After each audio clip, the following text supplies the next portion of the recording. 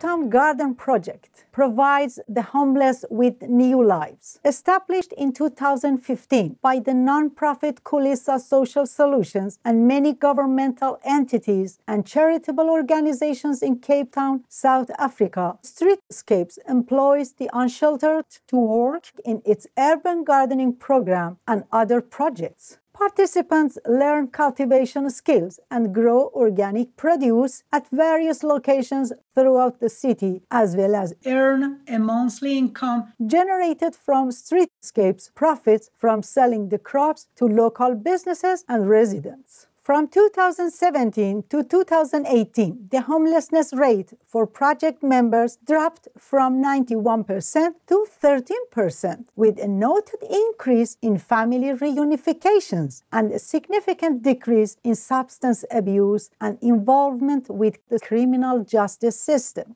our immeasurable delight on hearing this news and our deep appreciation, Streetscapes and Khulisa Social Solutions. In heaven's watchful gaze, may homelessness soon end worldwide as we embrace a golden era of love for all beings. Supreme Master Ching Hai gladly present the Shining World Caring Award to Streetscapes by Khulisa Social Solutions with love, respect, and gratitude in God's mercy. May all involved always be blessed and shielded by the providence. Supreme Master Ching Hai is deeply grateful to the beloved God for all the financial help, comfort, and support to the afflicted and needy and or any good cause over the years. As a humble vessel for Here's compassion and love toward Here's precious children.